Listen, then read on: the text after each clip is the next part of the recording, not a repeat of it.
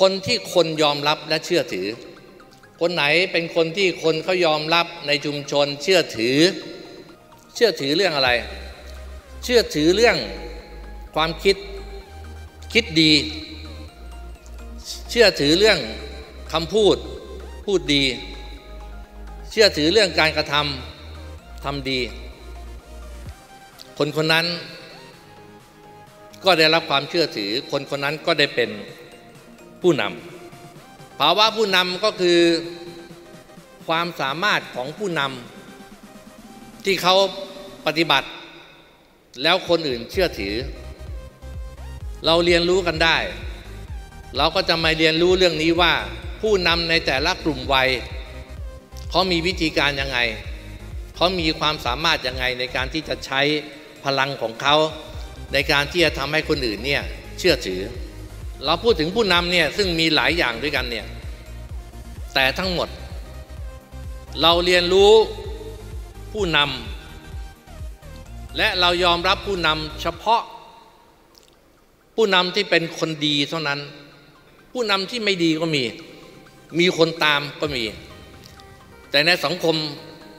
ของพวกเราเนี่ยเราจะยอมรับเฉพาะผู้นำที่เป็นคนดีเท่านั้น มีความเป็นพลเมือง แล้วก็สร้างคุณประโยชน์ให้กับสังคมสิบข้อที่ออกจากตัวผู้นำเนี่ยมันเกิดจากอะไรทำไมผู้นำจึงมีลักษณะสิบข้อซ้ายขวา สิ่งที่มีความสำคัญที่สุดในตัวผู้นำทำให้เขามีพื้นฐานของความเป็นผู้นำได้ ผมคิดว่า เป็นเรื่องที่ผู้นำมองตัวของตัวเอง เขามองตัวเขา แล้วเขาก็มีความมั่นใจในตัวเขา เขามีความเป็นศักดิ์ศรีในตัวเขา เขามีความมั่นใจว่าตัวเขาเนี่ย สามารถที่จะแก้ไขปัญหาตัวเขาได้ ตัวเขาเองเนี่ยสามารถที่จะสร้างสุขให้ตัวเขาเองได้ ไม่ว่าเขาจะเป็นคนจน ไม่ว่าเขาจะเป็นคนรวย ด้วยความที่เขาเป็นคนดีด้วยนะครับ ใช้ความดีของตัวเองเนี่ยสร้างสุขให้กับตัวเอง แก้ไขปัญหาให้กับตัวเอง เขายังสามารถแก้ไขปัญหาครอบครัวเขาได้ เขายังสามารถแก้ไขปัญหาชุมชนเขาได้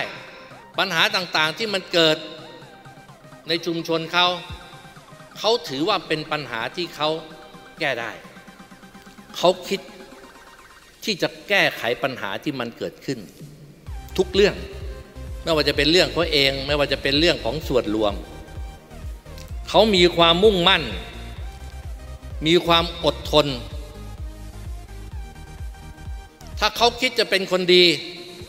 เขาก็มีความอดทนในการที่จะไม่ทำชั่ว วิธีการแก้ไขปัญหาของเขาก็คือ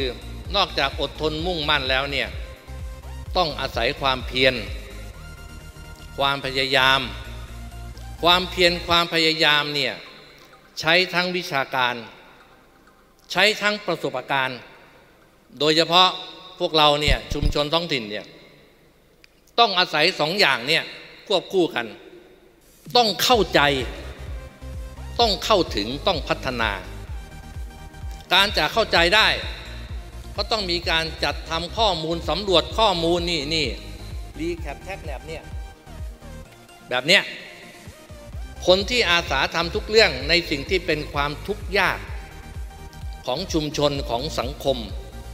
ความเป็นผู้นำนั้น เกิดได้สร้างได้พัฒนาได้ นี่คือการรวมผู้นำ รวมวิชาการรวมประสบการณ์ แล้วถ่ายทอดออกไป ขอให้พวกเราเป็นผู้นำที่ดี มีชีวิตที่ดี สร้างพลังพลเมือง สร้างสังคมประเทศชาติ มั่งคั่งยั่งยืน และเป็นสุขทั่วหน้า สวัสดีครับ